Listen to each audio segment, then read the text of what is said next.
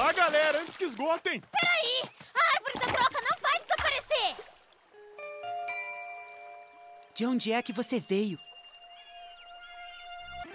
Um anel de humor, por favor. Algumas dessas bolinhas são meio deformadas. Ah, é? Ah, isso é porque elas são muito raras. Uhum. Ah, vai! Me dá o anel de humor! Eu preciso, senão como é que eu vou saber se eu tô feliz? Desculpa, mas não dá. Cara... E esse passarinho aqui? Nem pense nisso, João Paulo! Você trocaria por isso aqui? Olha, eu agradeço muito, mas eu já tenho namorado. O comércio. Quê? É, Não, não. É uma madressilva. Ela é docinha. Você puxa a parte de baixo e suga o mel dela. Experimenta.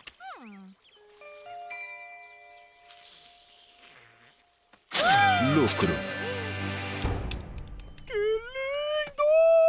Tá bom, se vocês trouxerem mais madressilvas pra mim, eu posso dar mil anéis de humor. Nem, aí já é muito anel até pro meu gosto. Eu só queria um brilhozinho pequeno. Ah, mas eu aceito um daqueles dinobraços.